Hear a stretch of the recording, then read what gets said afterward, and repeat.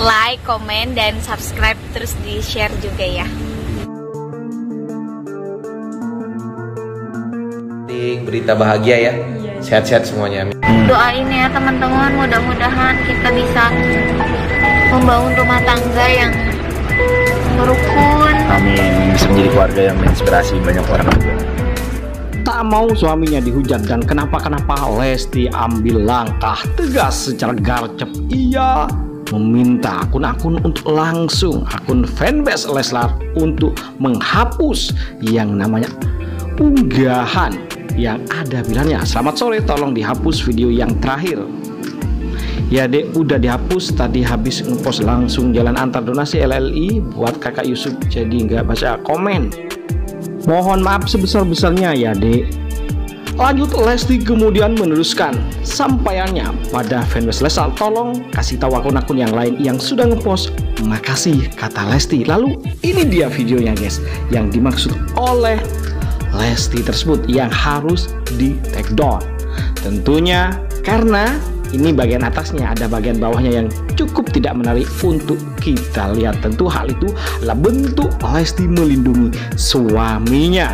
Ya agar tidak terjadi apa-apa yang tidak diinginkan. Apalagi ada yang sampai mendiskreditkan suaminya tersebut. Tentu sesuai banget kan? Dan inilah berbagai komentar dari netizen terkait hal tersebut. Tolong simak dan ntar kalian kasih komentar bagaimana kira-kira menurut kalian Yuk, ini dia